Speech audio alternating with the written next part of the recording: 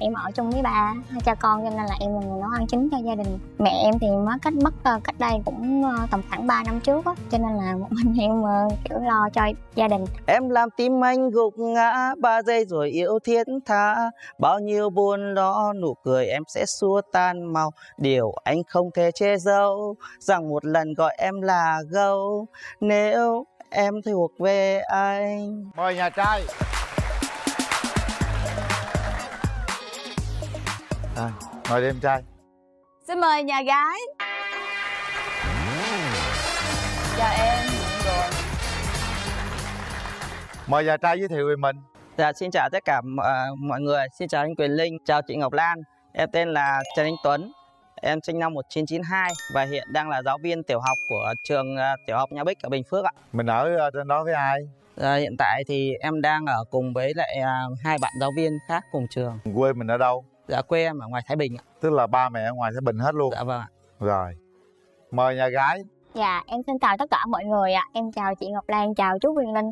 Em tên là Thu, ờ, năm nay em 28 tuổi. Hiện tại em đang ở quận 12, thành phố Hồ Chí Minh ạ. Em ở đó với ai?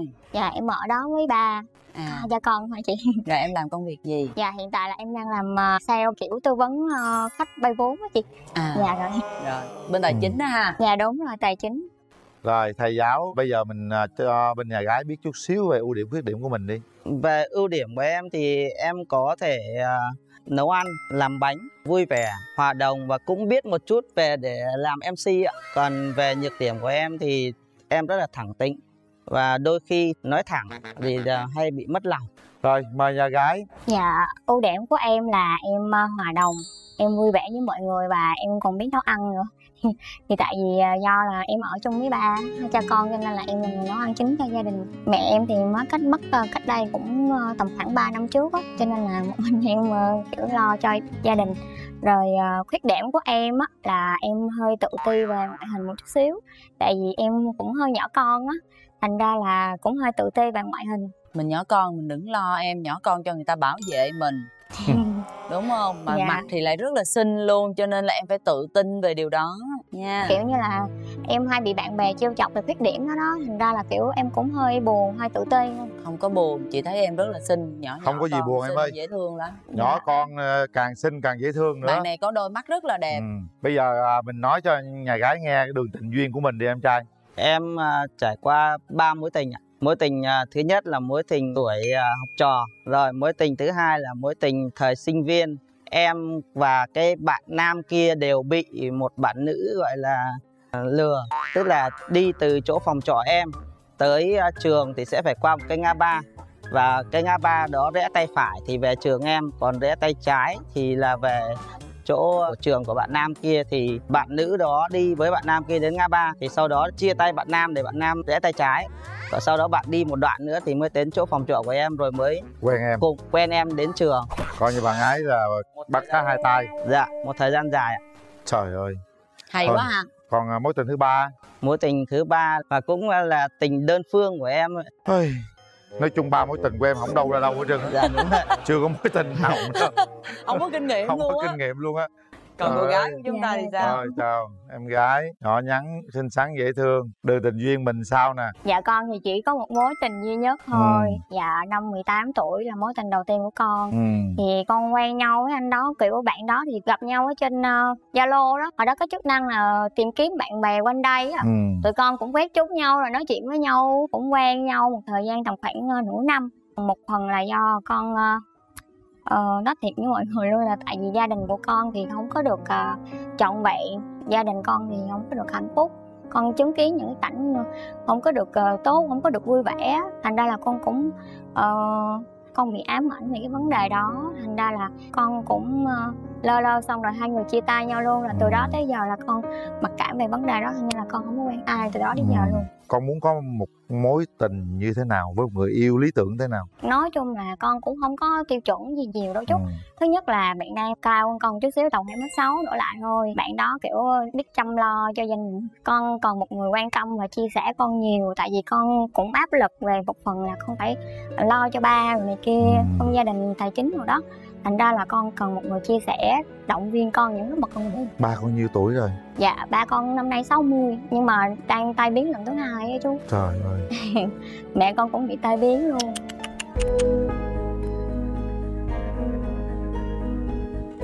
Thôi chia sẻ với con ha. Em ờ, qua coi nhà trai tôi sao. Ê. Dạ, dạ chào nhà Ừ. trai. Nhà gái có những cái ờ, nhu cầu như vậy á, thì nhà trai thấy là mình đáp ứng được cỡ bao nhiêu phần trăm nè thì chắc là được khoảng à, 60 phần trăm. Khoảng uh, 60 phần trăm. 60 phần Ờ, trăm cái gì mà có 60 không có tự tin gì hết á. Bây giờ chàng trai nói cho chị Lan nghe là cái mong muốn của em có một người bạn gái như thế nào nè. Thực ra thì em à, năm nay cũng là 32 từ xưa đến giờ em chưa có một cái gọi là yêu cầu về ngoại hình đối với bạn nữ bởi vì thực ra chiều cao của em khá là khiêm tốn đối với em từ xưa đến giờ thì tình cảm vẫn là cái quan trọng nhất. Khi mà hai người quan tâm đến nhau chia sẻ với nhau mọi việc á thì cuộc sống nó sẽ dễ dàng hơn và à, nó sẽ vượt qua được tất cả những cái rào cản khác. Vậy thôi Rồi. có tình cảm là được đúng không? Trời Ờ, ơi đơn vậy thôi giản. đó. Ừ. mình hỏi người thân đi. Gái đi với ai? Dạ đi với bạn chị À. làm đồng nghiệp chung. Dạ em xin chào mọi người, em chào MC rồi em thấy ờ, nhà trai sao nè? Thấy có hợp ý với ờ, bạn thân không Dạ em thấy bên nhà trai cũng được ạ. Bạn em hiền không? Dạ hiền nó hơi đanh đá xíu rồi. Không cái mặt cổ rất là lanh nha. Rất lanh luôn đó. Em thấy anh bên đây anh hiền không? Dạ thấy anh cũng hiền, cũng vui tính ạ. Em thấy hai người có thể kết hợp được không? Dạ được ạ. À, bạn em có nhiều người theo đuổi không? Nó làm trong cái môi trường đó cho nên là cũng ít có để ý đến ai lắm ạ. Môi trường tài chính rất là áp lực. Ừ, rồi cảm ơn em rồi nhà trai đi với ai? À, hiện tại em không đi với ai cả. Rồi không sao Thôi, có chú rồi. Quyền Linh ha. Thôi bây giờ mở rào đi. Đúng rồi mở rào. Rồi hai ờ, bạn cứ thoải mái nói chuyện nha.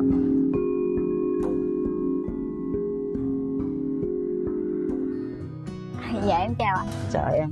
Dạ rồi. Anh có món quà nhỏ tặng em. Món quà này với ý nghĩa là nếu như chúng ta đến với nhau thì anh cũng mong có những à, gia đình và những đứa trẻ. Đáng yêu dạ rồi dạ dạ em gửi anh tặng anh một cái Anh cảm ví. dạ Dạ. rồi có nghĩa là khi nào mà anh mở ví ra là anh có thể nhớ đến em. Rồi cảm ơn em. Dạ rồi. Dân tài À. chính tặng quà của khác ha. Xin phép chương trình này em tặng bạn nữ một bài hát dạ. À, bài hát này à, mình rất thích ạ. Nếu em được gần anh một lần sẽ biết anh yêu em vạn lần. Vì em là điều anh muốn kiếm tìm. Trong cuộc đời bao hư ảo thì em là hạnh phúc ngọt ngào là tất cả những gì mà anh muốn giữ. Em làm tim anh gục ngã ba giây rồi yêu thiết tha. Bao nhiêu buồn lo nụ cười em sẽ xua tan màu. Điều anh không thể che giấu rằng một lần gọi em là gấu. Nếu em thuộc về anh. Xin ạ dễ thương quá. Em gái có hát lại không? Em quê thì ờ, quê ở gốc ở quảng nam nhưng mà Dạ. em là ờ, miền tây người dân Dạ. miền tây. Cho nên là em hát anh ờ, một đoạn ờ, từng ngày từng ngày em ngóng trông trông ngóng em ngày em làm giàu má anh. Đừng buồn đừng rầu đừng lo có em đây. Ba em hiền ba em không có anh có chị lò. Em sẽ theo anh về về làm gió miền tây. Quên hết đâu lo ta sống vui mỗi ngày. Dạ rồi em cảm ơn. Rồi về ghế ngồi đi các bạn. Anh nhìn thấy em thì anh có cảm nghĩ gì không anh? Anh thấy em là rất là xinh. Dạ rồi À. nói chuyện thì rất là dễ nghe. Dạ. À, còn em em thấy anh thì thấy như thế nào? Dạ em thấy anh cũng cũng nói chung là phù hợp với chỉ tiêu từ ấy của em đưa ra kiểu như là anh kiểu cũng ngoại hình cũng được cũng dễ nhìn thấy anh cũng rất là thật thà. Em nhưng mà em hỏi cái này là hiện tại là mình đang ở đâu chứ anh? Anh đang tại ở thị xã Trơn Thành Bình Phước. Thì em ở quận 12 lận thì cây số của mình nó cách xa nhau cũng nhiều á thì không biết là một tuần lễ thì mình có thể gặp nhau khoảng mấy lần à, khi nào em cần thì em chỉ cần báo trước anh khoảng một tiếng để À. anh chuẩn bị tinh thần là anh sẽ lên nếu như em không có thời gian mà để sắp xếp thì anh sẽ là người chủ động lên và anh sẽ lên gần đến nơi thì anh sẽ báo em có những ngày đặc biệt thì anh sẽ cho em những điều bất ngờ À dạ Dạ. rồi. Dạ ờ, công việc của em thì em làm suốt nhưng mà trong thời gian làm việc thì không có xài điện thoại á thì không có nhắn tin cho mình nhiều được á là không có sự quan tâm á cho nên là có gì anh thông cảm nha. Thì à, mình phải ưu tiên công việc trước. Dạ. Nhưng mà luôn luôn là em làm việc gì thì em cũng phải nhớ giữ gìn sức khỏe để đảm bảo Dạ. sức khỏe nhé dạ. Bây giờ mình nói về tương lai được không? Ví Dạ, dụ như là sau này em muốn thì mình sinh mấy bé nếu như Trời. có thể. Cái này thì tùy thuộc thôi anh kiểu như là kinh tế như thế nào nữa. Có thể là một bé nhưng mà kinh tế tốt thì có thể là hai hoặc là hơn. Còn muốn đẻ bao nhiêu thì chả đẻ được anh. Nếu như mà quen nhau thì ờ, bao lâu mình có thể tiến tới hôn nhân? Ừ, dạ giờ em cũng 28 rồi anh cũng 32 rồi. Thì tầm khoảng ờ, một hai năm gì đó nói chung là tùy duyên số thôi anh. Bây giờ cái hướng tương lai nếu hai đứa bước tới thì mình ở đâu? Bình Phước hay quận 12 cái này là em cũng chia sẻ thiệt với anh luôn. Thì ba em cũng yếu lắm rồi kiểu như là cũng tai biến lần thứ hai anh. Thành ra là bây giờ nếu mà được á em nghĩ là không phải là ở rễ mà là kiểu ở chung với lại À. em thì được không? Tại vì em sợ là kiểu không làm dâu á kiểu em không phải là em ngại làm dâu đâu. Em cũng muốn làm dâu tại vì em cũng thiếu mẹ đó. Em cũng không ngại đâu nhưng mà do là sức khỏe ba em yếu rồi cho nên là Thì- em muốn ở chung với ba em kiểu chăm sóc ba em được nhiều hơn. thì ờ, ba mẹ anh ấy thì còn khỏe. Thì bây giờ ưu tiên sức khỏe của bố mẹ vẫn là trên hết. Thì bây giờ bố em ờ, sức khỏe không được tốt thì mình phải dành thời gian chăm sóc cho bố nhiều hơn. Rồi là công việc của anh thì anh, anh sẽ cân đối được. Khoảng cách địa lý đường xá bây giờ nó là dễ đi mà đâu có gì khó khăn đâu. Dạ. Ờ, nếu mà đến với nhau thì anh sẽ cùng em chăm sóc bố cho dạ rồi hay quá. Tốt. dạ rồi. Rồi em cảm ơn anh. Bây giờ á là em bước tới đi. Đó thì hai đứa nhìn thẳng nhau. Mình à, cảm nhận nãy giờ em thấy nói chuyện với bạn gái em trai thấy như sao? Tương lai thì mình không thể nào đoán trước được. Dạ. Nhưng mà hiện tại mình cho nhau một cơ hội để tìm hiểu và nếu được thì chúng ta sẽ tiến xa hơn. Dạ rồi. Em cũng mong là như vậy anh ơi. Dạ. Hay quá. Rồi về vị trí đi các bạn. Chúng ta sẽ đưa ra quyết định sau 3 tiếng đếm. Nãy giờ các bạn trao đổi với nhau nhiều rồi ha. Các bạn à, hãy tự cảm nhận lại về những gì chúng ta trao đổi với nhau nè. Rồi à, đưa ra quyết định. Chị lan sẽ đếm nhé. Một hai ba. Chúc mừng bạn gái cũng rất là quyết liệt luôn đó. Ha chính thức chúng ta đã hẹn hò với nhau. Dạ. Nắm tay nhau đi nào. Cùng nhau vượt khó đặc biệt là em trai đó gia đình em gái. Hoàn cảnh cũng đơn chiếc Dạ. một mình mình ở bình phước làm gì? Dạ. Theo anh á là từ từ mình tìm cái địa bàn mình dời về quận 12 mình ở luôn. Dạ. Mình có thể đi dạy quận 12 có thể xin việc ở quận 12 rất nhiều việc rồi cùng với bạn gái chăm lo cho bố hả? Dạ. à, và ở trên thành phố Hồ Chí Minh thì cũng rất là nhiều việc. Dạ. Ha? Thay mặt cho gia đình em cũng xin cảm ơn uh, chương trình đã tạo điều kiện cho chúng em được gặp nhau. Nếu mà chúng em có tin vui nhất định sẽ mời uh, chương trình tới để tạo chung vui cùng chúng em ạ. Ừ. dạ. Một nụ hôn đầu tiên. Được không? Dạ. thơm hả rồi chúc mừng hai em nhé dạ rồi. Mời bạn nữ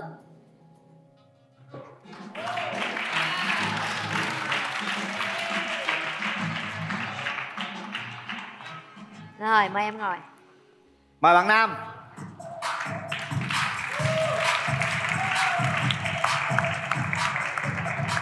Rồi chào bạn. Ngồi đi bạn. Rồi mình giới thiệu đi em gái À, dạ em xin chào chị Cát Tường, em chào anh Quỳnh Linh, chào bạn nam bên kia bước rèm và toàn bộ quý vị khán giả. Em tên là Trương Thị Phương Nhung, năm nay em 28 tuổi. Em sinh ra và lớn lên ở thành phố Vũng Tàu. Hiện tại em đang công tác tại thành phố Hồ Chí Minh. Em làm kế toán và em sống tại Biên Hòa à quê thì vũng tàu sống biên hòa làm việc thành phố hồ chí minh vậy em đi làm đi về mỗi ngày à Dạ đúng rồi ạ. đi bằng xe công ty Dạ không em tự lái xe máy à. tự lên xe máy đi Dạ. biên hòa mỗi ngày lên sài gòn Dạ. sài gòn làm ở quận mấy Dạ em làm quận 2. quận 2 thì cũng gần không Dạ. đến nỗi nào ha Dạ. rồi mời bạn trai giới thiệu Dạ, em chào anh ờ, Quyền Linh, Chào em em. chào chị ờ, Cát Tường và chào bạn nữ ở kế bên và chào toàn thể quý vị khán giả. Em tên là Nguyễn Anh Vũ và em ờ, năm nay là em năm nay là 30 tuổi và ờ, em ờ, đến từ ờ, Bảo Lộc Lâm Đồng và hiện tại thì em đang làm ờ, là nhân viên kinh doanh của thiết bị ờ, quảng cáo ở bên công ty ở Tân Phú ạ. à, Làm Tân Phú Dạ vâng. Tức là em, làm ờ, nhân làm viên nhân viên gì? kinh doanh về thiết bị À, ờ, Kinh doanh đúng không? vâng, nhân viên kinh À, doanh đi thiết bị kinh quảng doanh. cáo ạ. Ở Tân Phú em ở với ai Vũ? Dạ em làm ở là ở Tân Phú, còn lại là em làm là em ở là ở Tân Bình ạ. Ở Tân Bình dạ vâng Tân Bình đi về à, Biên Hòa cũng à, khá xa đó ha dạ vâng nhưng mà quan trọng là vấn đề là à, mình nhìn nhận cái ờ, cái cái nhìn đầu tiên của mình là như thế nào đã Ừ. và với lại là mình cũng có cái sự lựa chọn và đánh giá của ờ, mỗi người xem là như thế nào nó phù hợp hay không và cũng ờ, có thể là mình sẽ trao đổi thêm nữa để có thể là có một sự đồng cảm hay là một Rồi. sự thời gian coi như chung. có yêu nhau là Vâng. không có bất chấp đường xá đó ha cỡ nào cũng đi được á dạ vâng thôi thì bạn à, gái gái thì sao? Ưu khuyết điểm của bạn là gì? Dạ, ưu điểm của em là một người vui vẻ, hòa đồng, hay cười. Và em là một người rất là có tính tự lập, quyết đoán trong công việc. Ừ. Ờ, Em trong công việc thì em rất là nhanh nhẹn và tiếp thu nhanh. Còn khuyết điểm của em á thì trong vấn đề nấu ăn á thì em là khá là vụng về. Tại vì em sống với mẹ nên hàng ngày thì mẹ làm hết. Dạ đúng rồi. Còn ờ, em cũng có một cái là ừm, em không có dùng đũa. Dạ rồi em dùng cả thời thanh xuân của mình để mà gấp hành. Là sao? Dùng Em cái- không có ăn hành đó chị. À. Dạ nên em dùng cả một cái thời thanh xuân của em chỉ để gấp hành thôi. Gắp bỏ ra đó hả? Dạ, đúng rồi. Mà không có dùng đũa là sao gắp? Dạ em dùng muỗng. Múc ra. Dạ đúng rồi. Không biết cầm đũa. Dạ đúng rồi. Vậy ăn cơm là ăn với muỗng bằng muỗng thôi. Dạ muỗng và nĩa. Muỗng và nĩa. Dạ. à. Ngoài Ờ. không thích ăn hành em không thích ăn gì nữa.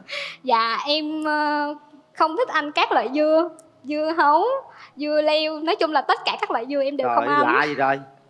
Rồi Và- ngoài không thích ăn dưa leo không thích Không ăn, ăn gì gì nữa, nữa? Dạ em không ăn chuối. Trời ơi cô này lạ gì trời.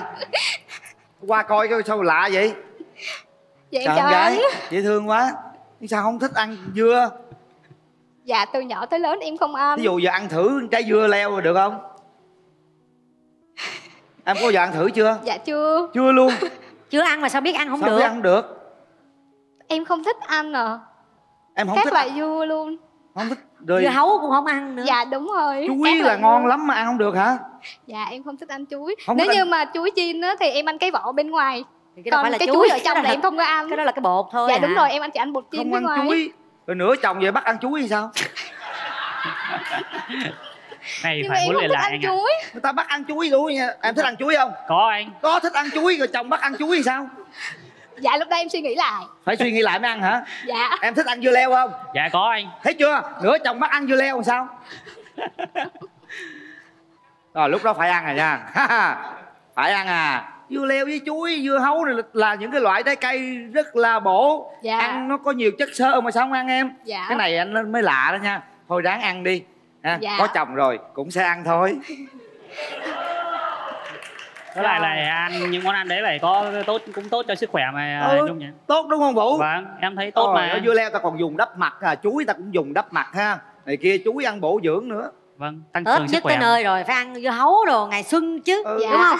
Rồi cái đó là, à, là, là, là, là coi như là cũng có nhiều cái đặc biệt rồi đó. Dạ. À, trong cái tình trường mình có gì đặc biệt không? Dạ thì em trải qua hai mối tình. Một mối tình là thời sinh viên Còn một mối tình là kéo dài 6 năm. 6 năm? Dạ chia tay được gần 2 năm rồi. Lý do sao 6 năm Dạ mà lý chia tay? do là rồi chia tay chắc cũng không biết ăn chuối với dưa này kia nè. Dạ tại vì do một phần là do khoảng cách Với lại chắc có lẽ là em là một người khá là khó tính Nên bạn trai đó cũng hơi bị áp lực. Rồi ờ, dần dần thì hai tụi em không có tìm được cái sự đồng nhất nữa nên rồi tụi em nhưng mà ai là người chủ động chia tay em? Dạ cả hai tự ra đi. Cả hai luôn 6 năm Dạ. trời một cái chặng đường khá dài ha. Dạ. Rồi mối tình nó chia tay bao lâu rồi? Dạ gần 2 năm rồi anh. Hai năm quên, quên, chưa em? chưa? Dạ rồi. À vậy tốt rồi. Rồi Còn bạn Vũ, trai. Dạ vâng. em có mấy À, mối tình rồi vũ? em ờ, trải qua một mối tình ờ, anh chị ạ. À, cách đây thì cũng ờ, cách đây từ năm 2012 ừ. và sau đó thì em cũng chia tay ờ, cũng chia tay được cách đây cũng 3 năm rồi người chia tay 2 năm người chia tay 3 năm rồi. Lý do tại sao chia tay vũ Dạ cũng uh, giống như bạn nữ uh, ở bên đó ạ. Tại vì cũng có một uh, cái khoảng cách về xa và cũng uh, có một cái uh, cái uh, sự uh, sự khác biệt của mỗi bên. Nên đâm ra là vấn đề là uh, nhận định là em uh, chủ động em chia tay trước ạ. tại sao chúng tôi lại cứ hỏi mỗi người có một mối tình tại sao chia tay bởi chúng tôi muốn các bạn phải biết ra cái điều đó tại sao chia tay để rút kinh nghiệm để chúng ta làm tốt hơn cái mối tình mà hiện nay chúng ta đang gặp ha rồi coi như mà bỏ qua cái đó tự bây giờ mình nghĩ mong nha. muốn tìm một người bạn trai như thế nào em? Dạ em mong muốn tìm một người bạn trai là à, phải luôn biết lắng nghe quan tâm chia sẻ. Có lắng nghe quan tâm chia dạ, sẻ. chia sẻ. Còn gì nữa em? Dạ em không thích người bạn trai là gia trưởng hút thuốc. Ừ. có Dạ. thuốc không? Dạ không anh ơi. Có gia trưởng không vũ dạ cái này chỉ có ít ít thôi có một số à? vâng thì khi nào mà ví dụ như là cần một cái chính kiến gì đó thì mình, mình cũng phải đứng ra tại vì À. chính kiến thì có nghĩa là chính kiến thì mình cũng phải phân tích là tại sao mình đưa ra Rồi. cái lý do như thế có dạ. có lý với do lại em là người là có đạo thiên chúa nên em cũng mong là tìm một người cùng với đạo của mình á có không vũ dạ có anh ạ rồi mừng Rồi, quá cái này quá. quan trọng nè nghe vậy là thấy yên tâm rồi ha dạ người à, còn ngoại cái hình đó sao ngoại em hình không? Dạ em mong muốn là bạn trai phải đô. Đô? Cái dạ. gì? Đô Đô hả? Dạ đô và cao. Cao rồi nhiều. đô Dạ, dữ cao rồi nha cao một mét bảy vì em hơi lùn. Ừ. dạ. Tóc tai có yêu cầu gì không? Dạ gọn gàng. Gọn Hả? gàng. Không hói. Không hỏi chào chị cái không điều em kiện này tôi bó tay rồi. Điều kiện này tôi không khắc phục được. Anh linh gỡ rối giùm em chứ còn gì nữa không em? Cạn lời. Còn gì nữa không? Đô dạ. Không hỏi dạ. Mắt mũi miệng.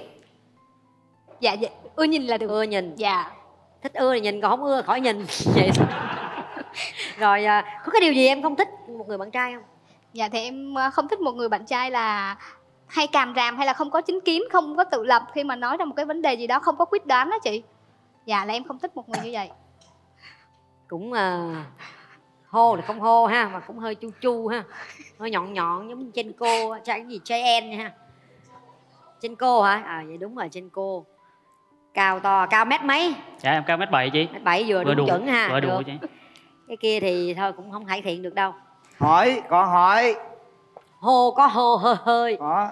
Nói gì ta có duyên là được rồi đúng không? Chừng Vũ? nào Vâng, mình, à, quan trọng là em hay cười vui vẻ là được À. mà lý do sao để tóc em ít quá vậy dạ cái này để đỡ tốn uh, xà bông chi phí cải thiện được anh ạ.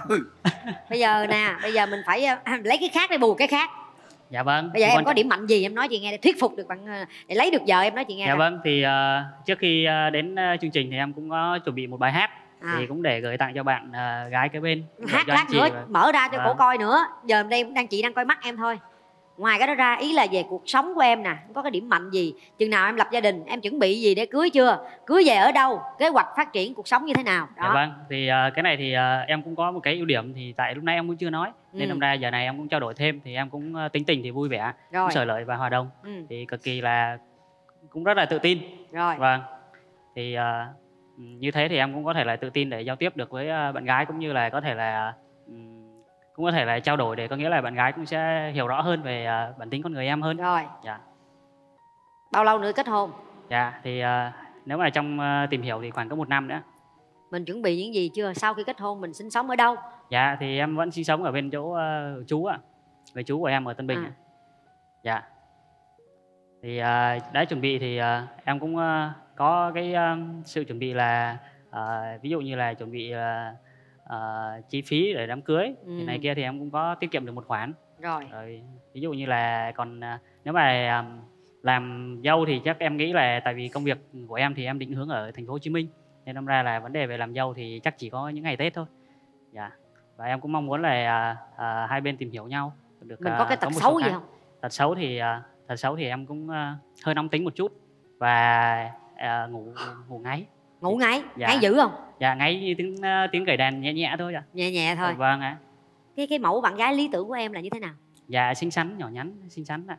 cái điều Dạ, gì em không thích ở người bạn thôi. gái À, em à, chủ yếu em thích bạn gái thôi chị chị nhá tại vì em à, lấy cái ưu điểm để che- lấp được cái khuyết điểm thì có nghĩa là các bạn gái à, bạn gái là biết à, ứng nhân đối xử ừ. à, tốt với à, với lại mọi người với lại với, với lại về ba mẹ đôi bên rồi. là em thấy là như vậy là được phù hợp nãy rồi. giờ là chị cho em nhiều cơ hội đó ha. Dạ, để mình có thể mình mình khai thác ra được mình mình phô ra được những dạ cái điểm vâng mạnh em của cảm mình. ơn chị rồi.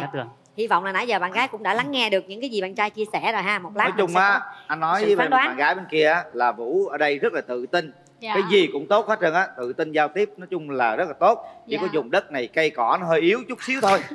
Ha không có lo cái chuyện đó. Nhưng Rồi. quan trọng người ta yêu thương mình được rồi. Dạ. ha nhưng cố gắng về tập ăn trái cây này kia đi nha. Dạ. Nhưng mà em cũng nóng tính mà anh đó cũng nóng tính thì là Không, anh này nói vậy thôi chứ ảnh ờ, hiền lắm. Em nhìn mặt đi thấy hiền liền à. Em nóng chứ anh nghĩ chắc cũng nóng gì lắm đâu. Dạ không em à, em thì nhiều đó. tóc có thể bù lỗ cho anh được chút xíu cũng được. Về gắn qua gắn lại được không anh? Được.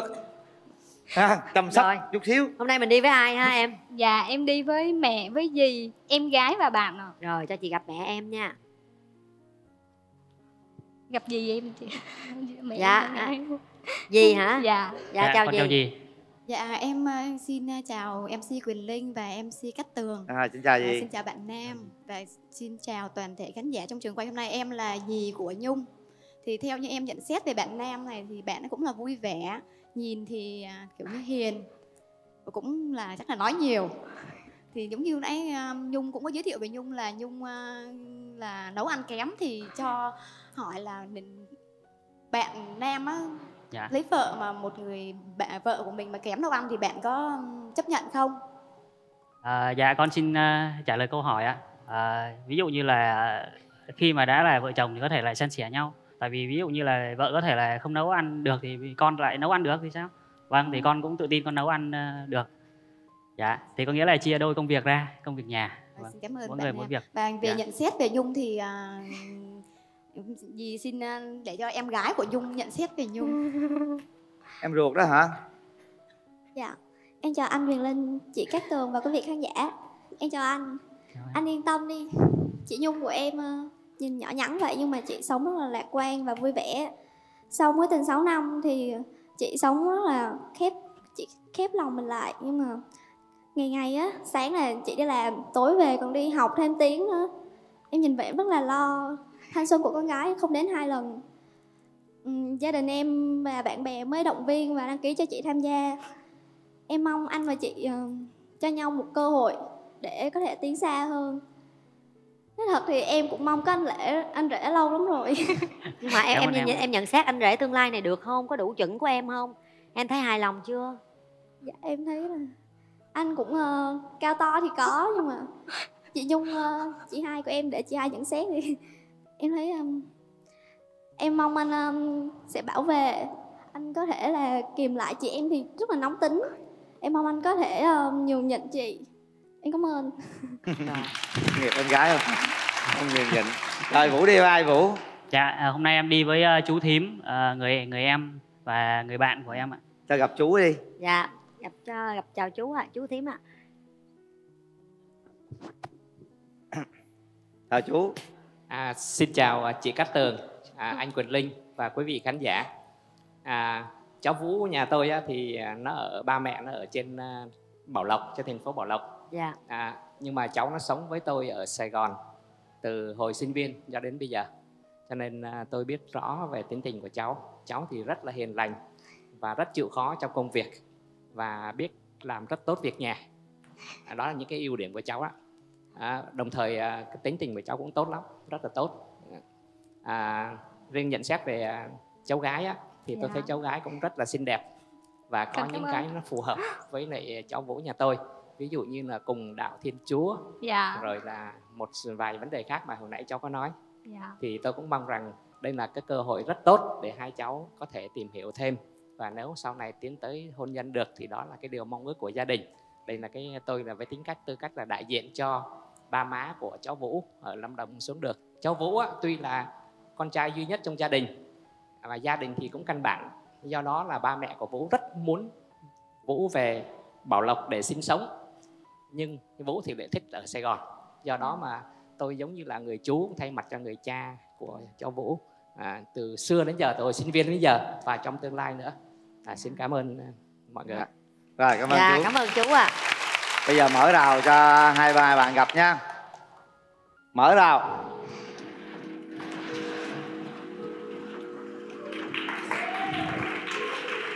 Chào Nhung, anh có món quà tặng em. Dạ, À, cây này gọi là cây may mắn và em chỉ cần là phun à, phun nước, phun nước Dạ. phun sương nó thôi là được. Dạ dạ À, rồi em cảm cảm ơn. anh em cũng có món quà tặng anh mà.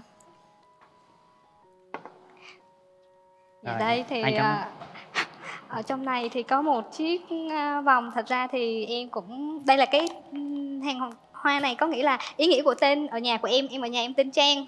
Dạ thì đây là cái Trang hàng hoa mà T. em muốn tặng anh. Thì khi anh nhìn tới cái này thì anh sẽ nhớ tới em. Còn đây là chiếc vòng mà em cũng đeo nó từ khá lâu nó cũng khá may mắn. Thì hôm nay em muốn tặng anh. Thì khi nhìn chiếc vòng này anh sẽ nhớ em Chắc nhớ. Thôi dễ thương quá Cảm ơn anh Nhung. em có nghe bài hát của Trần Tiến chiếc vòng cầu hôn không em dạ à, thì cũng đến với chương trình thì em cũng uh, tặng cho bạn nữ và quý vị khán giả một bài hát thì cái bài hát này cũng uh, cũng là giống như là một uh, câu chuyện của em để bắt đầu là tại sao em tham gia chương trình và cũng là tại sao và cũng là một cái một cái cái tâm tư tình cảm của em uh, dành cho bạn nữ ở trên này từng ngày mệt nhoài muôn phiền trôi qua giật mình nhìn lại, thấy anh đã già. Lâu rồi cũng chẳng biết nhớ nhung yêu thương một người. Rồi bỗng một ngày như trở về tuổi hai mươi, là khi anh thấy ánh mắt và nụ cười. Em làm con tim anh trở nên hoang mang, loạn nhịp. Liên hồi, lại sợ em sẽ từ chối nên anh mới viết ra tâm tư lòng này là anh đã đi hết một phần ba cuộc đời mà sao trái tim vẫn còn một mình chơi vơi? Nhiều lần muốn đôi chân dừng lại nghỉ ngơi do anh khó hay cuộc đời khó em ơi? Muốn kể cho em nghe bao nhiêu là điều mà sao trái tim vẫn còn dạ cái này. Anh hơi hay mà thiệt tình nên em thường thường em à, hát hay bị à, thiếu lời lắm chị ạ. Nên năm yeah. ra là em cũng à, xin cảm ơn khán giả đã lắng nghe tại vì bài hát vẫn chưa được trọn vẹn và có thể là sẽ trọn vẹn hơn khi mà hát trực tiếp với em được nữa một lần nữa. Rồi một bài hát rất ý nghĩa mà dòng của vũ rất là hay được cái cậu ấy rất là tự tin nữa ha. Rồi còn bạn gái có hát bài gì tặng bạn trai không? Thật ra thì em ờ, không có biết hát nhạc ờ, trẻ em chỉ biết hát nhạc thiếu nhi thôi thì anh vũ đã hát rồi thì em cũng sẽ hát một đoạn thôi, nhạc thiếu nhi nhá. Mong mọi người đừng có cười. Tình bằng có cái trong cơm, khen ai khéo vô ô mây bông mà nên bông, ô mây bông mà nên bông. Muốn bay tăng tình con nên môn bay tăng tình con nín ô mây lội lội lội lội ô mây đi tìm em nhớ thương ai. ô còn mân ô mây lim dim ô còn mân ô mây lim dim hát tay đỏ rồi á. Được đó. Hát cặp này hát bài này dễ thương á. Rồi dạ. bây giờ chúng ta cảm nhận về nhau đi các bạn. Lần dạ. đầu tiên các bạn gặp mặt đấy. Anh thấy em uh, qua sau khi tưởng tượng nhìn có nghĩa là khi chưa nhìn em ờ, thấy em mà qua bức rèm thì anh tưởng tượng em là người như thế nào à, à, anh anh cũng nghĩ là em sẽ là nhỏ nhắn tại vì lúc nãy là anh nhìn thấy cái bóng của em thôi chứ à. bóng xa xa thôi chứ cũng chưa thấy là chứng kiến là ờ, trực tiếp như thế này dạ. thì anh cũng thấy em rất là dễ thương xinh xắn Dạ, à, em cảm ơn. Nụ cười rất là tươi thì cố gắng là duy trì nụ cười tươi như thế và dạ. anh cũng mong muốn là anh sẽ mang lại cho em một nụ cười như thế luôn và luôn luôn uh, hiển thị ở trên môi của em dạ à, cho em hỏi một xíu là quan niệm về tình yêu của anh như thế nào ạ à? về tình yêu của uh, quan quan điểm của anh ấy là về tình yêu ấy, là quan tâm lắng nghe và chia sẻ giống như em có nói thì uh, có một số uh, số cái thì có nghĩa là trong một vấn đề thì vẫn là cái chính kiến của người đàn ông thì giống như dạ. anh cũng chia sẻ tại sao tại sao cũng có một ít gia trưởng như thế thì dạ. anh cũng chia sẻ ở thì dĩ nhiên là người đàn ông phải có một cái chính kiến gì đó thì có nghĩa là trong cái đấy thì nó sẽ là cái gia trưởng và anh dạ. nghĩ là uh, anh uh, là cái, cái quan điểm của anh là về tình yêu và có À, và có một chút về quan điểm cá nhân dạ. về cái tính về tính tình. Ừ, em cũng nói luôn là quan điểm về tình yêu của em á là yêu á là không phải là nhìn nhau mà cùng nhau nhìn về một hướng. Có nghĩa là khi trong cuộc sống có những cái mà không phải lúc nào cũng là tươi đẹp hết. Có những cái thì giống như là có những bất hòa hoặc là mâu thuẫn nhưng mà cùng nhau cố gắng để vượt qua nó chứ không phải là để làm cho mọi thứ càng ngày càng trở nên xa cách hơn. Dạ. Nghĩa là mình nên trao đổi và nên lắng nghe nhiều hơn đúng không lắng dạ, nghe và nên uh, trao đổi với lại với, với nhau để cho có một sự đồng cảm về một phía dạ. nhất. cho em hỏi một xíu là anh biết nấu ăn đúng không? Đúng rồi anh nấu ăn được có nghĩa là uh, biết luộc ở, trứng ở dưới này lúc, lúc, mấy cái món đấy thì món cơ bản hết rồi cơ bản dạ. thì ai cũng làm được cả. Dạ. còn anh uh, ví dụ như là uh, nấu ăn hàng ngày bình thường là vẫn được. Dạ. quan trọng có một món canh một món xào hay là một món mặn thế thôi. Dạ. anh chỉ như thế chứ còn món nhậu thì anh chịu rồi. Dạ. Anh có uống bia không anh có uống chứ? Uống uh, bia uống rượu nhưng mà uống ít và uống ít trong cái khả năng của mình thôi. Dạ. Cảm nhận về tóc của bạn nam như thế nào? Tại vì lúc nãy em cũng đề cập cũng khá là nhiều về về khoản là tóc tai nên dạ. ra là nhiều khi em cứ cảm nhận thoải mái thôi. Khá surprise. Khá surprise. Nhưng mà dễ thương rồi đúng không? Dạ. Cũng sốc và ấn tượng. Thông minh lắm em. Dạ. Tóc tai giờ không quan trọng nữa rồi. Bây giờ hai người làm sao mà hiểu nhau nhiều hơn dạ chăm sóc nhau nhiều hơn mới là điều quan trọng ha giờ Dạ. mình hẹn hò như thế nào Ừ. kế hoạch kết hôn sao làm sao để mà phát triển được cái kinh tế À, nếu mà em đi làm ở quận 2 nếu vậy là hàng ngày em đi ờ, em đi một khoảng cách di chuyển cũng khá là xa dạ Hòa, không? đi đi về về là khoảng 60 km 60 km. dạ đúng rồi Nếu vậy thì ờ, 30 cây đi 30 cây về nhưng nhưng mà cái cái, cái cái thời gian mà em chạy trên xe như vậy là anh thấy cũng thấy là khá khá là ờ, nhiều di chuyển nhiều khá dạ. là di chuyển nhiều và em cũng Dạ, thấy khá là rồi. cực tại vì đi làm rồi mà còn kết thúc mà từ cái thời- khoảng thời gian mà từ lúc kết thúc ờ, đi làm Dạ. và lúc đấy là về giờ trên cao nhà điểm nữa kẹt xe giờ cao điểm nữa và anh anh cũng biết là cái khu vực ở đấy là chạy xe cũng rất là dữ đó Dạ. chứ không phải là ít đâu tại Nên, vì ờ, sau giờ học em còn phải sau giờ làm em còn phải đi, đi học nữa thì em cái lịch học của em là thường là như thế nào vậy dạ em học vào thứ tư thứ sáu và thứ bảy từ thứ sáu dạ và thứ đúng bảy. rồi. Em học tiếng. Nếu vậy là em học là môn gì vậy? À, dạ em học tiếng hàn. Tiếng Hàn à dạ. Ủa, nhưng mà anh cũng thắc mắc là tại sao học tiếng Hàn à? dạ công ty của em là công ty hàn quốc. À. Dạ. Nếu vậy là học tiếng Hàn để bổ sung. Dạ đúng rồi. Em hãy nói với cô gái ấy là Sarah nghe Salan Heyo. Dạ. bây giờ kế hoạch mình hẹn hò bao lâu mình gặp nhau một lần như thế nào để xúc tiến? Dạ anh Mình- là hiện tại em đang sống ở Ờ, anh đang sống ở quận Tân ờ, ở quận Tân Bình. Em thì ở biên hòa làm thì làm việc ở thành phố hồ chí minh nhưng mà chiều về biên hòa thì nếu như mà hẹn hò thì sẽ như thế nào anh? Nếu vậy thì chắc là chỉ có cuối tuần anh thấy là như vậy thì sẽ phù hợp với em hơn đúng không? À, em á thì ờ, xa mặt cách lòng. Em nói thiệt đó là ờ, con gái thì thường á là luôn muốn được quan tâm rồi lắng bạn trai mình quan tâm rồi lắng nghe chia sẻ. Mỗi lúc buồn thì lúc nào cũng muốn cũng muốn là có sự quan tâm và dạ lắng nghe đúng và chia rồi. sẻ đúng không? Dạ. Bởi vậy cái này thì có nhiều cái phương tiện để có thể là trao đổi qua lại cũng như là cũng có thể là gặp mặt trực tiếp. Thì ờ, như anh thì thường thường anh cũng bận vào ngày thứ ba và ngày thứ năm. Dạ. Thì có thể là mình sẽ sắp xếp để cho phù hợp hơn. Thời gian làm việc của anh cũng là giờ hành chánh đúng rồi thời gian Dạ. làm việc giờ hành chính và hiện tại thì sắp tới thì anh cũng đang ờ, phát triển về ờ, kinh doanh ở bên khu vực bên chỗ quận 2 nữa. Dạ. Thì có thể là sẽ gặp em nhiều hơn có thể Dạ. là đi ăn cơm trưa. Đó. Dạ. Đó là như thế để có nghĩa là có có một sự có một khoảng thời gian là cùng về cùng nhau nhìn về một hướng. Dạ. sẽ là như thế và cụ thể nhất. Dạ. Ăn cơm trưa xong rồi chiều tối bữa nào em không đi học thì em vừa làm ra thì đi ăn tối với ảnh luôn rồi xong đó Dạ, thì tối cái này anh đưa thì em hai người cũng có về thể sắp xếp mà. Vâng. Thiếu gì cách. Dạ. Yêu nhau là được hết á rồi bây giờ mỗi người hãy nhìn nhau mỗi người nói một câu nữa thôi. Cảm nhận của mình hiện tại mình đang suy nghĩ như cái gì?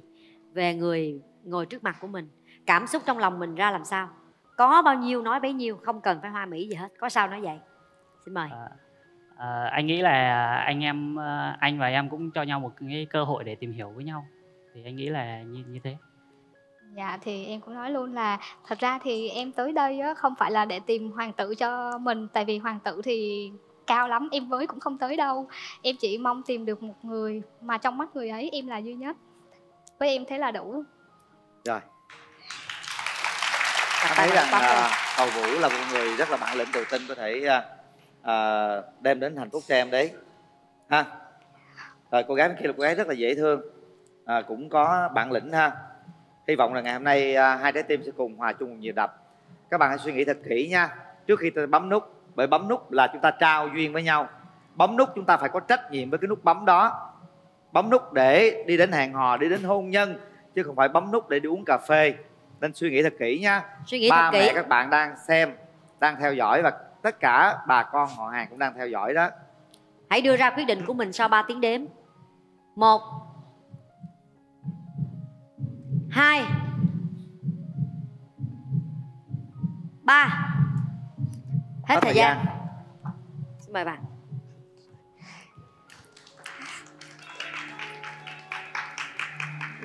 sao em lại không bấm vậy Dạ tại vì em ờ, em thấy ờ, có lẽ là em và anh ấy nên làm bạn của nhau thì sẽ tốt hơn. Dạ. Thì ở đây thì đến đây cũng là một cái duyên. Tuy là chúng ta không thể cùng nhau nhìn về một hướng nhưng mà chúng ta có thể làm bạn của nhau. À, ok. Chào em. Rồi. tiếc quá. À, anh cứ nghĩ là hai người bấm chứ. Chắc đây là một chàng trai à, khá tuyệt đấy em. Dạ. à, mặc dù có thể là à, do một ít à, điều gì đó nó chưa có hoàn thiện lắm như là tóc tai. Có Em giờ là cô chưa cái trái tim cô chưa có rung động sao xuyến thì mình cũng phải thông cảm thôi vì tình yêu nó phải có cái cái ở cái nhìn đầu tiên. Dạ. mình phải có sự rung cảm ha. Không Chịu sao. hoàn toàn. bây giờ thì hàng triệu khán giả vẫn đang xem truyền hình và sẽ có hàng triệu cô gái cũng sẽ bấm nút nút cho vũ và có hàng triệu chàng trai sẽ bấm nút cho em. Hy vọng là hạnh phúc sẽ sớm đến với hai bạn nha. Ai cũng xứng Dạ. đáng được tìm thấy một nửa của mình. Hạnh phúc của mình càng sớm càng tốt. Dạ Ha. rồi em cảm Rồi, em cảm ơn ạ. Còn đang nói rồi. Một chút luyến tiếc. Thật tiếc vì à, các bạn đã à, chưa có may mắn nhận được một suất chụp hình cưới trọn gói từ hệ thống của cửa hàng dịch vụ ngày cưới Island à, trong cuộc sống thì à, đôi khi mình muốn cũng không được quý vị. Thật sự ngày hôm nay à, chúng tôi muốn là hai bạn ấy bấm nút. bấm nút bởi vì hai bạn ấy nói thật thì cũng rất hợp với nhau về suy nghĩ. Hồi nãy cô gái nói làm tôi cứ cứ tưởng nó là cứ bấm tưởng là cô gái không? sẽ bấm nhưng cuối cùng thôi biết sao được ha. Đó là sự quyết định sự chọn lựa của các bạn và chúng tôi là luôn luôn trân trọng điều đó